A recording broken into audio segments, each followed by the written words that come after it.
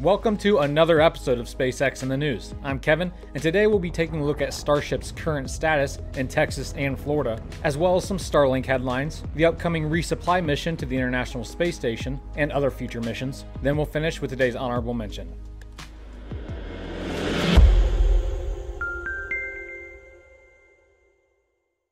While rocket production has at least appeared to slow down at both Starship sites, work being done behind the spotlight definitely has not. Maria Pointer and LabPadre shared some images captured in Boca Chica of SpaceX facilities, and you can see workers are still moving dirt at the launch site and landing sites. Tent structures are also being erected, and rolls of steel are on site, ready to be turned into parts of Mark III. That ship's first tank bulkhead has already begun construction. Meanwhile, in Cocoa, Florida, videos of shipping cradles for Starship are on standby to move the prototype vehicle to Roberts Road at Kennedy Space Center. You can see here a portable crane arrived at the nose cone of Mark II, where it later lifted the piece off the mount so that the header tanks could be removed prior to the upcoming trip. Starlink made quite the few headlines this week, all of which wrote about the constellation's hindrance on astronomical research. Apparently, the fears of many astronomers that such mega satellite constellations will interfere with their observations of the night sky have come to pass. Glowing streaks created by the passing satellites have come across their images. But NASA Administrator Jim Bridenstine stood up for SpaceX and Elon Musk while reassuring the public that everything will be fine. But I do want to say SpaceX is a great partner with NASA. Um, they are very responsible space actors.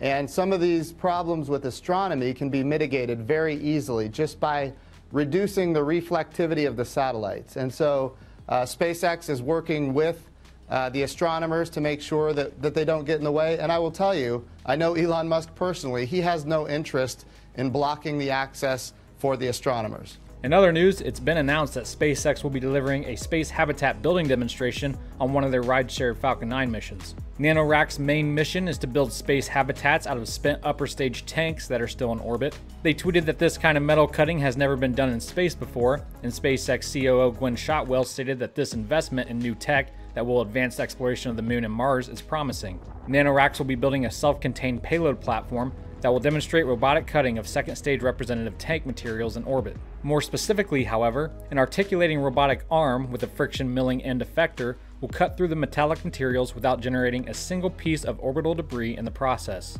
The mission will be allotted up to one hour to complete the cutting of three pieces representing the upper stages of various rockets, during which time photos and videos will be captured. This launch isn't planned until the fourth quarter of 2020. NASA has officially opened up media accreditation for Crew Dragon's upcoming in flight abort test. All we really know for sure is that the application cutoff date is December 13th, so it definitely won't launch before then. But I'm still waiting for a NASA social invite to this mission. There has got to be one, and it must include a behind the scenes tour of parachute testing. Come on, NASA, let's go. Go! But SpaceX's next scheduled launch is CRS 19, a resupply mission to the International Space Station, the Falcon 9 booster that will carry this Cargo Dragon capsule into space successfully completed a static fire test this week. And in a change of events, SpaceX has decided to catch this booster on the drone ship Of Course I Still Love You. The capsule itself is a historic one, in that it is the first ever commercial orbital spacecraft to be reused. It had previously flown on CRS 4 and 11. CRS 19 is scheduled to lift off on December 4th, and we'll be covering it right here on this channel. And now it's time for today's honorable mention.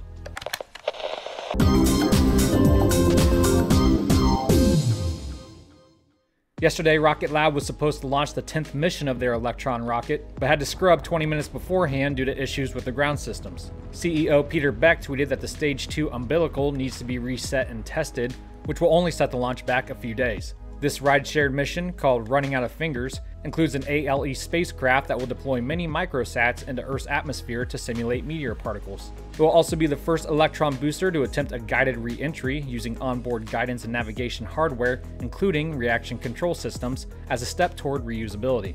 Ultimately, Rocket Lab wants to catch their boosters under a parachute with a helicopter and a hook.